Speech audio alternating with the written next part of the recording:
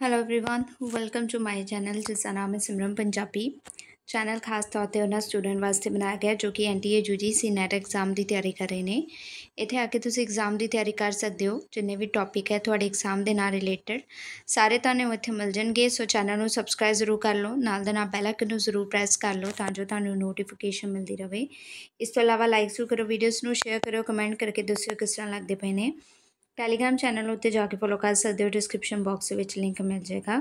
ਕੋਈ ਵੀ ਵੀਡੀਓਜ਼ ਅਗਰ ਸਮਝ ਦੇ ਵਿੱਚ ਨਹੀਂ ਆ ਰਹੀ ਜਾਂ ਕੋਈ ਵੀ ਟੌਪਿਕ ਸਮਝ ਦੇ ਵਿੱਚ ਨਹੀਂ ਆ ਰਿਹਾ ਮੈਸੇਜ ਕਰ ਸਕਦੇ ਹੋ। ਮੈਂ ਟੌਪਿਕ ਫਿਰ ਤੋਂ ਦੁਬਾਰਾ ਤੁਹਾਨੂੰ ਸਮਝਾਵਾਂਗੀ ਤੇ ਟੈਲੀਗ੍ਰਾਮ ਦੇ ਉੱਤੇ ਤੁਹਾਨੂੰ ਜਿੰਨੇ ਵੀ ਵੀਡੀਓਜ਼ ਦੇ ਲਿੰਕ ਹੈ, ਸਾਰੇ ਦੇ ਸਾਰੇ ਇੱਥੇ ਮਿਲ ਜਾਣਗੇ। ਸੋ ਸ਼ੁਰੂਆਤ ਕਰਦੇ ਹਾਂ। ਅੱਜ ਦਾ ਜਿਹੜਾ ਨੈਕਸਟ ਟੌਪਿਕ ਹੈ, ਉਹ ਸੱਭਿਆਚਾਰ ਦੇ ਉੱਤੇ ਲੈ ਕੇ ਆਈ ਹਾਂ। ਸੋ ਸੱਭਿਆਚਾਰ ਦੇ ਵਿੱਚ ਬਹੁਤ ਸਾਰਾ ਅਸੀਂ ਆਲਰੇਡੀ ਪੜ੍ਹ ਚੁੱਕੇ ਹਾਂ। ਬੜੀ ਸਿੰਪਲ ਜੀ ਚੀਜ਼ਾਂ ਜਿਹੜੀਆਂ ਨੇ ਤੁਸੀਂ ਸੋਚਦੇ ਹੋ ਕਿ ਇਹ ਅਸੀਂ ਅਗਰ ਇਹਨਾਂ ਨੂੰ ਪੜ੍ਹ ਲੈਂਗੇ, ਤਾਂ ਆਲਰੇਡੀ ਸਾਨੂੰ ਪੂਰਾ ਸੱਭਿਆਚਾਰ ਦੇ ਬਾਰੇ ਪਤਾ ਲੱਗ ਜਾਏਗਾ, ਪਰ ਨਹੀਂ। ਤੇ ਤੁਹਾਨੂੰ ਕੁਝ ਚੀਜ਼ਾਂ ਹੋ ਜੇ ਹੋਣੀਆਂ ਜਿਹੜੀਆਂ ਕਿ ਤੁਹਾਨੂੰ ਪੜ੍ਹਨੀਆਂ ਜ਼ਰੂਰ ਪੈਂਦੀਆਂ ਨੇ, ਜੋ ਕਿ ਮੇਨ ਇਹਨਾਂ ਦੀ ਜਿਵੇਂ ਇੰਟਰੋ ਵਿਸ਼ੇਸ਼ਤਾਵਾਂ, ਲੱਛਣ ਜਾਂ ਕੁਝ ਇਹੋ ਜਿਹੀਆਂ ਹੋਰ ਚੀਜ਼ਾਂ, ਜਿਹੜੇ ਕਿ ਸਟਾਰਟਿੰਗ ਦੇ ਉੱਤੋਂ ਆਉਂਦੇ ਨੇ। ਸੋ ਉਹਨਾਂ ਦੇ ਬਾਰੇ ਅੱਜ ਥੋੜਾ ਜਿਹਾ ਛੋਟਾ ਜਿਹਾ ਟੌਪਿਕ ਲੈ ਕੇ ਆਈ ਹਾਂ। ਅੱਗੋਂ ਵੀ ਇਸ ਤੇ ਦੋ ਤਿੰਨ ਟੌਪਿਕ ਹੋਰ ਹੋਣਗੇ ਜੋ ਕਿ ਅਸੀਂ ਨੈਕਸਟ ਦੇ ਵਿੱਚ ਕਰਾਂਗੇ। ਪਰ ਸਟਾਰਟਿੰਗ ਅਸੀਂ ਕਰਾਂਗੇ, ਅੱਜ ਦਾ ਜਿਹੜਾ ਟੌਪਿਕ ਹੈ ਉਹ ਹੈਗਾ ਸੱਭਿਆਚਾਰ, ਜਿਸ ਦੇ ਵਿੱਚ ਅਸੀਂ ਪੜਾਂਗੇ ਕਿ ਸੱਭਿਆਚਾਰ ਦੇ ਇੱਕ ਕੀ ਇਸ ਦਾ ਵਰਤਾਰਾ ਹੈ ਸਿਸਟਮ ਕੀ ਹੈ ਤੇ ਇਸ ਦੇ ਲੱਛਣ ਕੀ ਹੈ ਤੇ ਇਹਨਾਂ ਚੀਜ਼ਾਂ ਦੇ ਬਾਰੇ ਤੇ ਵਿਸ਼ਲੇਸ਼ਣ ਵਗੈਰਾ ਤੇ ਵਿਧੀਆਂ ਉਸ ਦੀਆਂ ਨੈਕਸਟ ਦੇ ਵਿੱਚ ਪੜਾਂਗੇ ਸੋ ਸਭ ਤੋਂ ਪਹਿਲਾਂ ਸਭ ਨੂੰ ਪਤਾ ਹੈ ਕਿ ਸੱਭਿਆਚਾਰ ਇੱਕ ਗਤੀਸ਼ੀਲ ਤੇ ਕੁਦਰਤੀ ਵਰਤਾਰਾ ਹੈ। ਆਪਣੇ ਆਪ ਜਿਹੜਾ ਹੈਗਾ ਸੀ ਸੱਭਿਆਚਾਰਿਕ ਹੋਣ ਦੇ ਵਿੱਚ ਆਇਆ। ਹਰ ਇੱਕ ਜਿਹੜਾ ਇੱਕ ਤੁਸੀਂ ਕਹਿ ਸਕਦੇ ਹੋ ਰਿਲੀਜਨ ਹੈ ਜਾਂ ਫਿਰ ਤੁਸੀਂ ਕਹਿ ਸਕਦੇ ਹੋ ਹਰ ਇੱਕ ਕੋਈ ਦੇਸ਼ ਜਾਂ ਕੰਟਰੀ ਹੈ ਕੁਝ ਵੀ ਹੈ। ਹਰ ਇੱਕ ਦਾ ਆਪਣਾ ਇੱਕ ਸੱਭਿਆਚਾਰ ਹੁੰਦਾ ਹੈ ਜੋ ਕਿ ਦੂਸਰੇ ਸੱਭਿਆਚਾਰ ਦੇ ਨਾਲ ਉਸ ਨੂੰ ਅਲੱਗ ਕਰਦਾ ਹੈ। ਕੁਦਰਤੀ ਤੌਰ ਤੇ ਜਦੋਂ ਸ਼ੁਰੂਆਤੀ ਤੌਰ ਤੇ ਜਦੋਂ ਮਨੁੱਖ ਆਇਆ ਸੀ ਹੋਣ ਦੇ ਵਿੱਚ, ਉਸ ਤੋਂ ਬਾਅਦ ਤੋਂ ਹੀ ਇਹ ਜਿਹੜਾ ਹੈਗਾ ਸੀ ਸਟਾਰਟਿੰਗ ਹਿਸਟਰੀ ਹੋਈ ਸੀ ਅਤੇ ਜੋ ਜੋ ਮਨੁੱਖ ਜਿਹੜਾ ਇੱਕ ਦੂਜੇ ਦੇ ਨਾਲ ਸੰਪਰਕ ਦੇ ਵਿੱਚ ਆਉਂਦਾ ਰਿਹਾ ਅਤੇ ਉਹਨਾਂ ਦੇ ਜਿਵੇਂ ਕਹਿ ਸਕਦੇ ਹੋ ਜ਼ਿਆਦਾ ਉਹ ਜਗ੍ਹਾ ਘੇਰਨੀ ਸ਼ੁਰੂ ਕਰ ਦਿੱਤੀ ਉਹਨਾਂ ਨੇ ਅਤੇ ਇਸ ਤਰੀਕੇ ਨਾਲ ਜਿਹੜਾ ਸੱਭਿਆਚਾਰ ਉਹ ਵੀ ਫੈਲਦਾ ਗਿਆ, ਇੱਕ ਜਗ੍ਹਾ ਤੋਂ ਦੂਜੀ ਜਗ੍ਹਾ ਜਾਂਦਾ ਰਿਹਾ। ਸੋ ਇਹ ਗਤੀਸ਼ੀਲ ਇਸ ਕਰਕੇ ਗਏ ਕਿਉਂਕਿ ਕੰਟੀਨਿਊਸਲੀ ਅੱਗੇ ਜਿਹੜਾ ਹੈਗਾ ਸੀ ਇਹ ਵਿਚਰਦਾ ਗਿਆ। ਇੱਕ ਜਗ੍ਹਾ ਤੋਂ ਜਿਵੇਂ ਕਹਿ ਸਕਦੇ ਹੋ ਦੂਜੀ ਜਗ੍ਹਾ ਤੇ, ਇੱਕ ਪੀੜ੍ਹੀ ਤੋਂ ਦੂਜੀ ਪੀੜ੍ਹੀ ਤੱਕ। ਅਤੇ ਇਹ ਅੱਗੇ ਤੋਂ ਅੱਗੇ ਵੱਧਦਾ ਹੀ ਗਿਆ। ਹਾਂ, ਕੁਝ ਪਰਿਵਰਤਨ ਜ਼ਰੂਰ ਆ ਰਹੇ ਨੇ ਇਸ ਦੇ ਵਿੱਚ, ਜੋ ਕਿ ਅਸੀਂ ਖੁਦ ਦੇਖਦੇ ਵੀ ਹਾਂ ਕਿ ਜੋ ਸਾਡਾ ਸੱਭਿਆਚਾਰ ਪਹਿਲੋਂ ਸੀ, ਉਹ ਨਹੀਂ ਹੈ। ਅਤੇ ਇਹ ਕੰਟੀਨਿਊਸਲੀ ਅਜੇ ਵੀ ਅੱਗੇ ਇੱਕ ਤਰੱਕੀ ਕਰਦਾ ਪਿਆ ਹੈ। ਹੁਣ ਸੱਭਿਆਚਾਰ ਤੇ ਇੱਕ ਚਲੋ ਹੋ ਗਈ ਇੱਕ ਚੀਜ਼। ਬਾਕੀ ਇਸ ਦੇ ਵਿੱਚ ਨਾ ਇੱਕ ਵਰਡ ਪਹਿਲੋਂ ਵੀ ਆਂਦਾ ਸੀ ਉਪ ਸੱਭਿਆਚਾਰ ਜਿਹੜਾ ਹੈਗਾ ਸੀ। ਸੋ ਇਹ ਦੋਨੇ ਕੀ ਹੈਗੇ ਨੇ? ਇੱਕ ਸਾਪੇਖਕ ਸ਼ਬਦ ਹੈਗੇ ਨੇ, ਅਗਰ ਕਹਿ ਸਕਦੇ ਹੋ ਕਿ ਅਸੀਂ ਇੱਕ ਦੋਨਾਂ ਨੂੰ ਮਿਕਸ ਅਪ ਵੀ ਕਰ ਸਕਦੇ ਹਾਂ। ਇੱਕ ਕਹਿ ਸਕਦੇ ਹੋ ਤੁਸੀਂ ਹੈੱਡ ਹੈਗਾ ਹੈ ਨੀ ਦੂਸਰਾ ਜਿਹੜਾ ਹੈਗਾ ਵਾ ਉਸ ਦਾ ਇੱਕ ਪਾਰਟ ਹੁੰਦਾ ਹੈ। ਹੁਣ ਜਿਵੇਂ ਦੇਖੋ, ਭਾਰਤੀ ਸਮਾਜ ਜਿਹੜਾ ਹੈਗਾ ਇੱਕ ਸੱਭਿਆਚਾਰ ਹੈ, ਅਗਰ ਪੂਰਾ ਭਾਰਤ ਦਾ ਕਲਚਰ ਦੇਖ ਲਓ ਉਹ ਇੱਕ ਮੇਨ ਕਲਚਰ ਹੈ, ਜਿਸ ਦੇ ਵਿੱਚ ਹਰ ਇੱਕ ਦਾ ਆਪਣਾ ਕਲਚਰ ਆ ਜਾਂਦਾ ਪੰਜਾਬੀਆਂ ਦਾ, ਗੁਜਰਾਤੀਆਂ ਦਾ, ਫਿਰ ਇੱਕ ਮਹਾਰਾਸ਼ਟਰ ਸਾਈਡ ਦਾ, ਤੇਲੰਗਾਨਾ ਜਾਂ ਤਾਮਿਲਨਾਡੂ ਸਾਈਡ ਦਾ, ਉਹਨਾਂ ਦਾ ਆਪਣਾ ਕਲਚਰ ਹੈਗਾ ਸੋ ਇਹ ਕੀ ਕਹਵਾ ਮੇਨ ਸਾਡਾ ਇੱਕ ਭਾਰਤੀ ਸਮਾਜ, ਇੱਕ ਸੱਭਿਆਚਾਰ ਇੱਕ ਮੇਨ ਹੈ। ਅਸੀਂ ਉਸ ਤੇ ਕੀ ਆਂਦੇ ਗਿਨੇ ਪ੍ਰਾਂਤਕ ਸਮਾਜ ਉਪ ਸੱਭਿਆਚਾਰ ਆਏਗੇ ਅਸੀਂ ਉਪ ਸੱਭਿਆਚਾਰ ਦੇ ਵਿੱਚ ਗਿਨੇ ਜਾਣਗੇ। ਅਤੇ ਇਹ ਮੇਨ ਹੋਏਗਾ ਅਤੇ ਅਸੀਂ ਉਪ ਸੱਭਿਆਚਾਰ ਦੇ ਵਿੱਚ ਅੱਗੋਂ ਉਹਨਾਂ ਦੀ ਜਿਵੇਂ ਇਕਾਈਆਂ ਕਹਿ ਸਕਦੇ ਹੋ ਨਾ, ਉਹ ਆ ਜਾਂਦੇ ਬਟ ਕਈ ਵਾਰੀ ਕੀ ਹੁੰਦਾ ਏ, ਜਿਵੇਂ ਕਿ ਪੰਜਾਬੀ ਸੱਭਿਆਚਾਰ ਦੀਆਂ ਵੀ ਅੱਗੋਂ ਕਈ ਉਪ ਇਕਾਈਆਂ ਨੇ। ਹੁਣ ਦੇਖੋ, ਅਗਰ ਪੰਜਾਬ ਦੇ ਵਿੱਚ ਦੇਖਿਆ ਜਾਵੇ ਤਾਂ ਅਗਰ ਪੰਜਾਬ ਇੱਕ ਅਸੀਂ ਗੱਲ ਕਰੀਏ, ਤਾਂ ਮੇਨ ਪੰਜਾਬ ਹੋਏਗਾ। ਉਸ ਦੇ ਵਿੱਚ ਹਰ ਇੱਕ ਜਿਵੇਂ ਜਗ੍ਹਾ ਦਾ, ਜਿਵੇਂ ਸਾਡੇ ਇੱਧਰ ਸਾਈਡ ਦੇ ਅੰਮ੍ਰਿਤਸਰ ਜ਼ਿਲ੍ਹੇ ਦਾ ਜਾਂ ਇੱਥੇ ਕੁਝ ਹੋਰ ਰੀਤਾਂ, ਰਸਮ, ਰਿਵਾਜ ਜਾਂ ਇਹਨਾਂ ਦਾ ਆਪਣਾ ਥੋੜ੍ਹਾ ਜਿਹਾ ਡਿਫਰੈਂਟ ਕਲਚਰ ਹੈਗਾ ਤੁਸੀਂ ਇਹ ਹੀ ਜਿਵੇਂ ਮਾਝੇ ਦਾ ਵੱਖਰਾ ਹੈਗਾ, ਦੁਆਬੇ ਦਾ ਵੱਖਰਾ ਹੋ ਗਿਆ ਜਾਂ ਫਿਰ ਮਾਲਵੇ ਦਾ ਵੱਖਰਾ ਹੋ ਗਿਆ, ਸੋ ਇਸ ਦੀਆਂ ਵੀ ਅੱਗੋਂ ਉਪ ਇਕਾਈਆਂ ਮਿਲ ਜਾਂਦੀਆਂ ਨੇ। ਸੋ ਉਹ ਚੀਜ਼ ਆਉਂਦੀਆਂ ਨੇ ਕਿ ਜੇ ਇਹ ਇੱਕ ਸਮੇਂ ਉਪ ਸੱਭਿਆਚਾਰ ਹੈ, ਜਿਵੇਂ ਭਾਰਤ ਇੱਕ ਮੇਨ ਸੀ, ਪੰਜਾਬ ਇੱਕ ਉਪ ਦੇ ਵਿੱਚ ਚਲਾ ਗਿਆ, ਤਾਂ ਕਈ ਵਾਰੀ ਕੀ ਹੁੰਦਾ ਹੈ ਪੰਜਾਬ ਆਪ ਇੱਕ ਮੇਨ ਦੇ ਵਿੱਚ ਆਉਂਦਾ ਹੈ ਤੇ ਉਹ ਇੱਕ ਟਾਈਮ ਤੇ ਮੁੱਖ ਹੋਵੇਗਾ, ਤਾਂ ਉਸ ਤੋਂ ਅੱਗੇ ਵੀ ਨੀਚੇ ਕੀ ਹੋਣਗੇ, ਉਸਦੇ ਉਪ ਸੱਭਿਆਚਾਰ ਹੋਣਗੇ।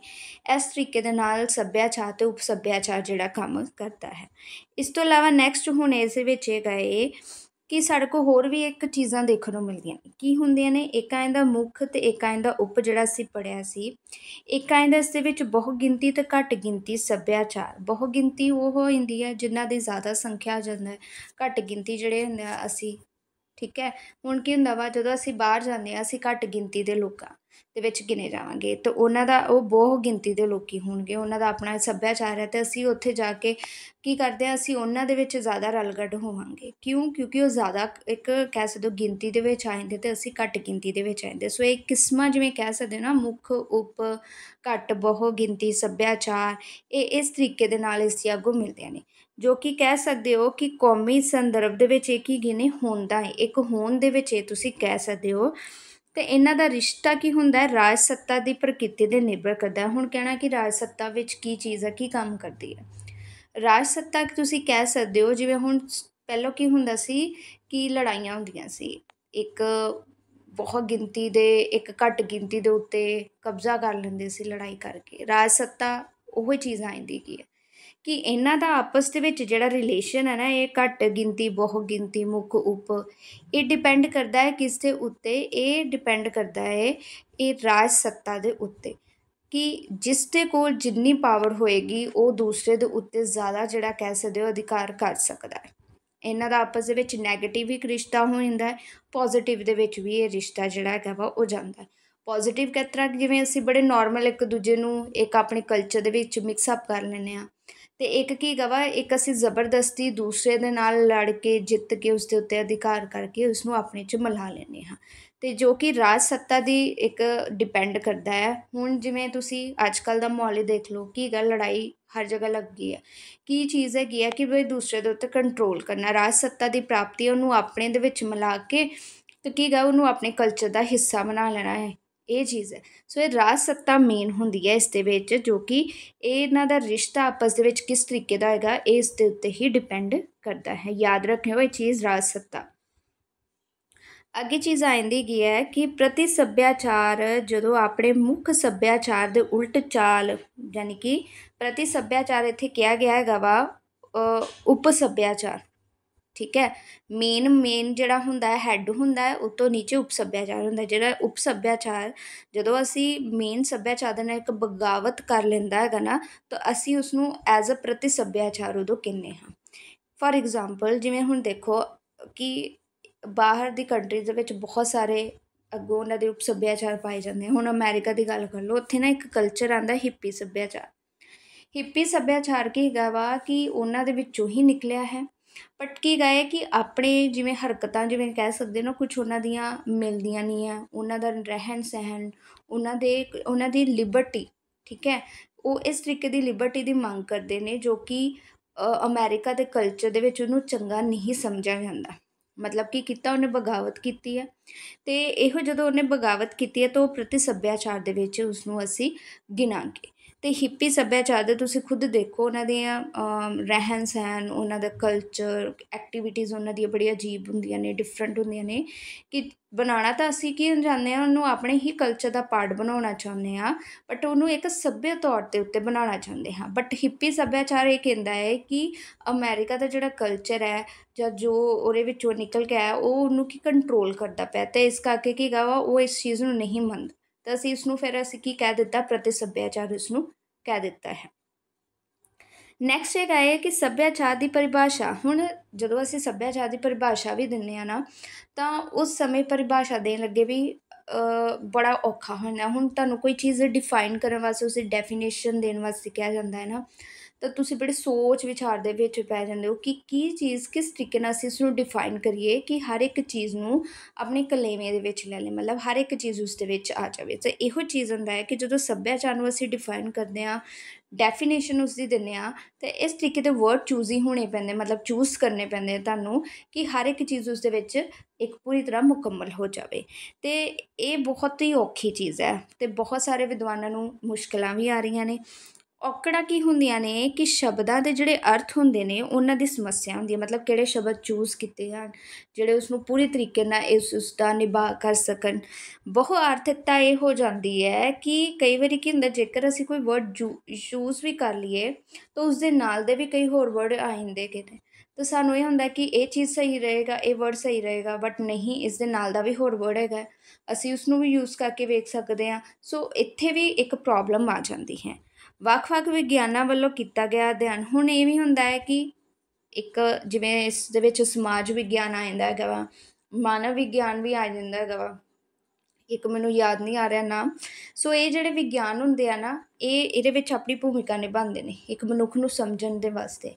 ਸੋ ਇਹ ਜਦੋਂ ਆਪਣੇ ਤਰੀਕੇ ਦੇ ਉੱਤੇ ਮਨੁੱਖ ਦੀ ਇੱਕ ਕਹਿ ਸਕਦੇ ਹੋ, ਪਰਿਭਾਸ਼ਾ ਜਾਂ ਆਪਣੇ ਤੌਰ ਤੇ ਇੱਕ ਮਨੁੱਖ ਦਾ ਵਿਹਾਰ, ਉਸਦੇ ਬਾਰੇ ਦੱਸਣ ਦੀ ਕੋਸ਼ਿਸ਼ ਕਰਦੇ ਆ ਨਾ, ਕਿਉਂਕਿ ਸਮਾਜ ਵਿਗਿਆਨ ਨੇ ਆਪਣੇ ਅਲੱਗ ਤਰੀਕੇ ਨਾਲ ਇੱਕ ਕਰਨੇ ਹੁੰਦੇ ਨੇ ਵਿਸ਼ਲੇਸ਼ਣ ਕਰਨਾ ਹੁੰਦਾ ਹੈ, ਮਾਨਵ ਵਿਗਿਆਨ ਨੇ ਅਲੱਗ ਤਰੀਕੇ ਨਾਲ, ਤੋਂ ਹਰ ਇੱਕ ਉਹਨਾਂ ਦੀ ਪਰਿਭਾਸ਼ਾ ਇੱਕ ਦੂਜੇ ਤੋਂ ਅਲੱਗ ਹੋਏਗੀ ਆਬਵੀਅਸਲੀ ਹੋਏਗੀ ਕਿ ਉਹ ਵੱਖਰਾ ਹੈ, ਉਹ ਵੱਖਰਾ ਹੈ, ਸੋ ਇਹ ਵੀ ਚੀਜ਼ ਇੱਥੇ ਪ੍ਰੋਬਲਮ ਕ੍ਰੀਏਟ ਕਰੇਗਾ ਕਿ ਦੋਨਾਂ ਨੇ ਆਪਣੇ ਤਰੀਕੇ ਦੇ ਨਾਲ ਇਸ ਸੱਭਿਆਚਾਰ ਨੂੰ ਡਿਫਾਈਨ ਕਰਨ ਦੀ ਕੋਸ਼ਿਸ਼ ਕੀਤੀ ਹੈ, ਜੋ ਕਿ ਉਹਨਾਂ ਦੇ ਆਪਸ ਵਿੱਚ ਨਹੀਂ ਮਿਲਣਗੀਆਂ ਪਰਿਭਾਸ਼ਾ ਸੋ ਜਦੋਂ ਪਰਿਭਾਸ਼ਾ ਦਿੰਦੇ ਨੇ ਸੱਭਿਆਚਾਰ ਦੀ, ਤੇ ਇਸ ਦੇ ਵਿੱਚ ਇਹ ਚੀਜ਼ਾਂ ਜਿਹੜੀਆਂ ਨੇ, ਉਹ ਕੰਮ ਖਰਾਬ ਕਰਦੀਆਂ ਨੇ।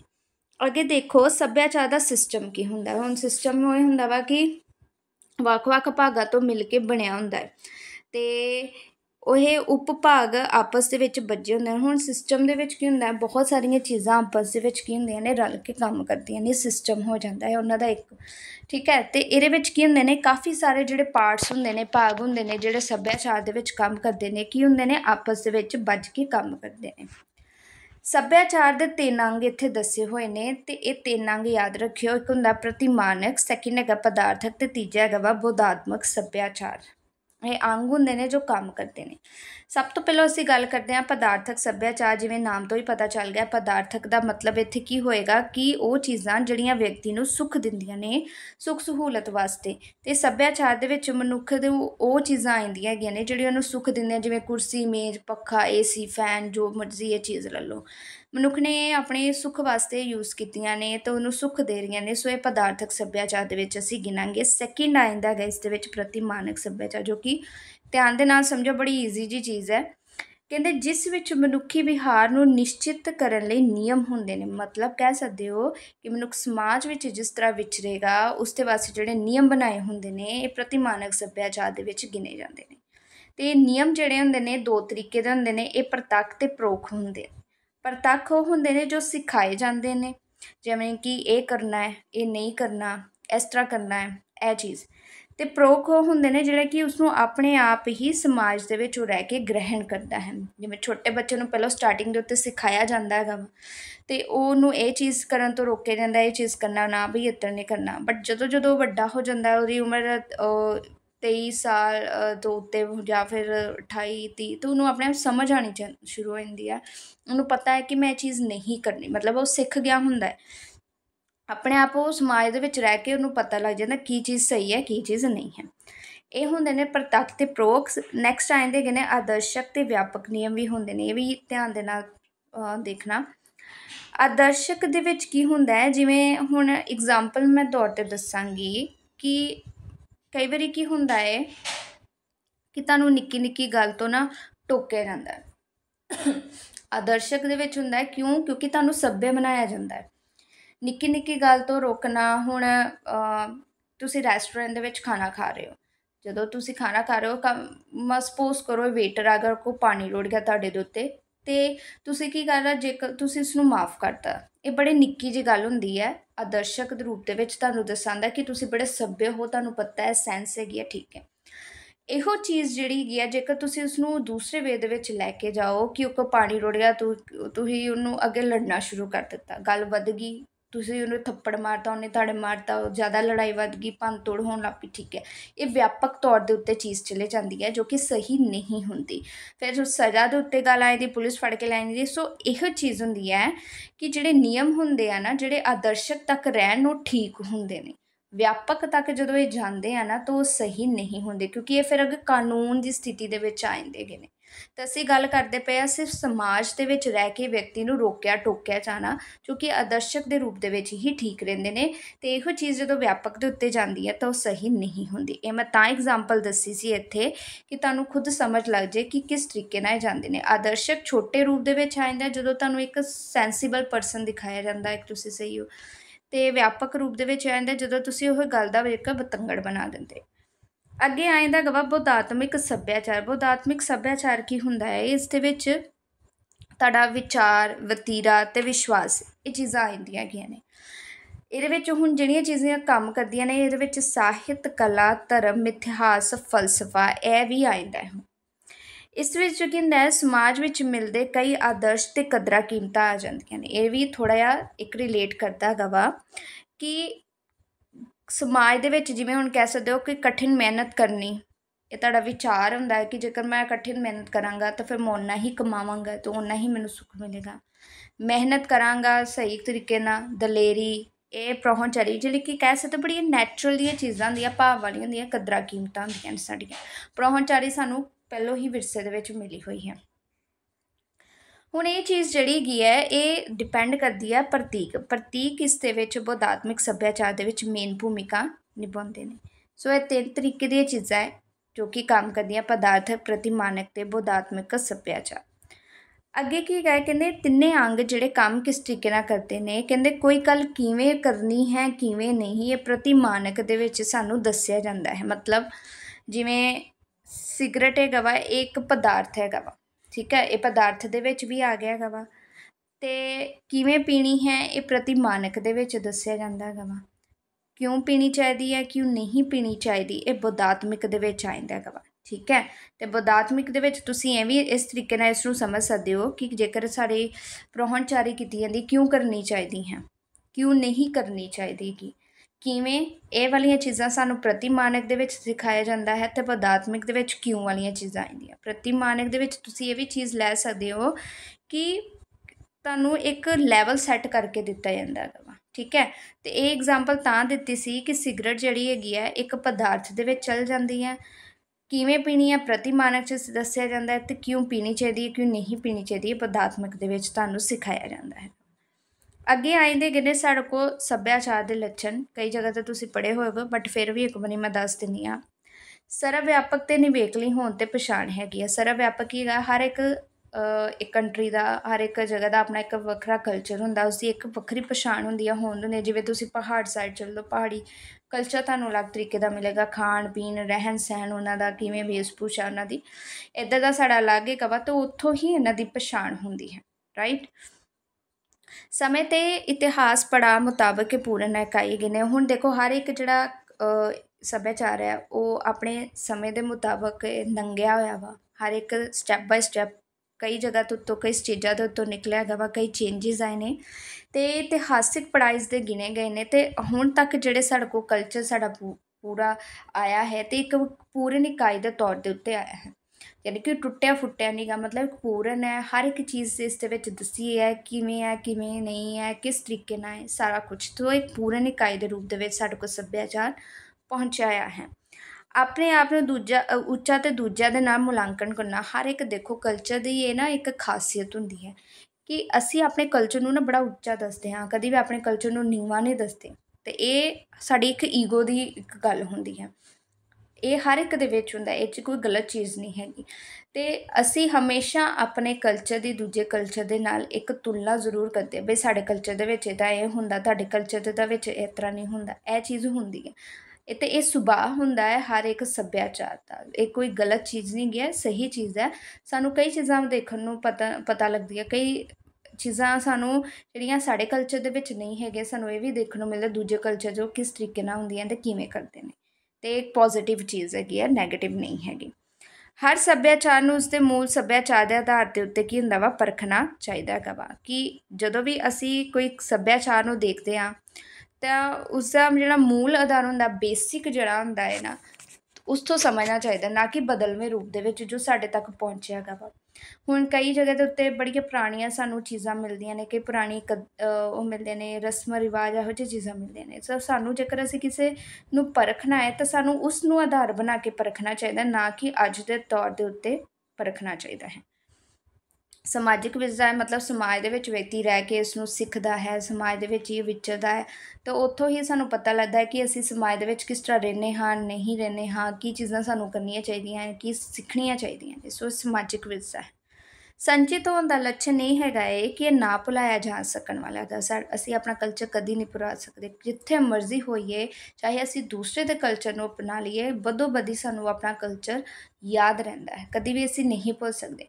ਜੇਕਰ ਅਸੀਂ ਦੂਜੇ ਦੇ ਕਲਚਰ ਨੂੰ ਅਪਣਾ ਵੀ ਲੈਂਦੇ ਹਾਂ, ਤਾਂ ਅਸੀਂ ਸਾਡੇ ਮੂੰਹ ਇਹ ਨਿਕਲਦਾ ਵੀ ਸਾਡੇ ਦੇ ਵਿੱਚ ਤਾਂ ਇਸ ਤਰ੍ਹਾਂ ਦੀ ਕਰਦੇ ਹੁੰਦੇ ਸੀ। ਇਹ ਚੀਜ਼ ਹਮੇਸ਼ਾ ਮੂੰਹ ਦੇ ਉੱਤੇ ਆਉਂਦੀ ਹੈ। ਸੋ ਇਹ ਹਮੇਸ਼ਾ ਹੁੰਦਾ ਹੈ ਕਿ ਵੀ ਅਸੀਂ ਆਪਣਾ ਕਲਚਰ ਨਹੀਂ ਭੁਲਾ ਸਕਦੇ। ਕਈ ਚੀਜ਼ਾਂ ਇਹੋ ਜਿਹੀਆਂ ਹੁੰਦੀਆਂ ਨੇ ਜਿਹੜੀਆਂ ਸਾਨੂੰ ਭੁਲਾਉਣਯੋਗ ਹੁੰਦੀਆਂ ਹੀ ਨਹੀਂ। ਨੈਕਸਟ ਹੈਗਾ ਵਾ ਪ੍ਰਤੀਕਾਂ ਦੇ ਉੱਤੇ ਆਧਾਰਿਤ ਹੁੰਦਾ, ਮਤਲਬ ਹਰ ਇੱਕ ਕਲਚਰ ਦੇ ਆਪਣੇ ਇੱਕ ਵੱਖਰੇ ਪ੍ਰਤੀਕ ਹੁੰਦੇ ਨੇ, ਜੋ ਕਿ ਕਲਚਰ ਦੇ ਵਿੱਚ ਹਮੇਸ਼ਾ ਜਿਹੜਾ ਸਾਂਭੇ ਰਹਿੰਦੇ ਨੇ। ਸੋ ਇਹਨਾਂ ਦੇ ਉੱਤੇ ਹੀ ਜਿਹੜਾ ਸਾਡਾ ਕਲਚਰ ਹੈਗਾ ਉਹ ਟਿਕਿਆ ਹੁੰਦਾ ਹੈ। ਸਰਵ ਵਿਆਪਕ ਹੈ, ਜਿਵੇਂ ਅਸੀਂ ਪਹਿਲਾਂ ਵੀ ਪੜ੍ਹਿਆ ਸੀ, ਬੜੇ ਵਿਆਪਕ ਰੂਪ ਦੇ ਵਿੱਚ ਹੈਗਾ, ਬਹੁਤ ਕੁਝ ਇਸ ਦੇ ਵਿੱਚ ਸਮਾ ਜਾਂਦਾ ਹੈਗਾ ਵਾ। ਰਹਿਣ ਸਹਿਣ ਤੋਂ ਲੈ ਕੇ ਸਾਡਾ ਖਾਣ ਪੀਣ, ਭੋਜਨ, ਕੱਪੜੇ, ਗਹਿਣੇ, ਵਸਤਾਂ, ਹਰ ਇੱਕ ਚੀਜ਼ ਇਸ ਦੇ ਵਿੱਚ ਆਉਂਦੀ ਹੈ। ਮਨੁੱਖੀ ਸਮਾਜ ਦਾ ਵਰਤਾਰਾ ਹੋਈ ਆਇਂਦਾ ਸਮਾਜਿਕ ਵਿਰਸਾ ਮਨੁੱਖ ਸਮਾਜ ਦੇ ਵਿੱਚ ਰਹਿ ਕੇ ਇਸ ਨੂੰ ਗ੍ਰਹਿਣ ਕਰਦਾ ਆਲੇ ਦੁਆਲੇ ਸਿੱਖਦਾ ਹੈ ਇਸ ਨੂੰ ਕੀ ਚੀਜ਼ਾਂ ਹੈ, ਕਿ ਨਹੀਂ ਹੈ, ਸਭ ਕੁਝ ਇਸ ਦੇ ਵਿੱਚ ਆਉਂਦੀ ਹੈ ਨੇ, ਠੀਕ ਹੈ? ਸੋ ਇਹ ਹੈਗਾ ਸੀ ਸਾਡੇ ਕੋਲ ਅੱਜ ਦਾ ਸੱਭਿਆਚਾਰ ਵਾਲਾ ਟੌਪਿਕ ਬਾਕੀ ਜਿਹੜਾ ਹੈਗਾ ਸੀ ਨੈਕਸਟ ਵਿੱਚ ਕਰਾਂਗੇ, ਸੋ ਵੀਡੀਓ ਜ਼ਰੂਰ ਦੇਖਦੇ ਰਹੋ। Thank you.